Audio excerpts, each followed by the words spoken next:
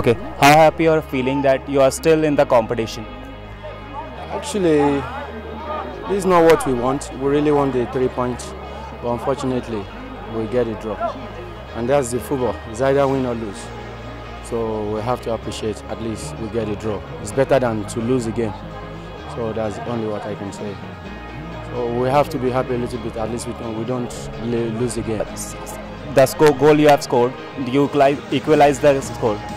Were you happy with that goal?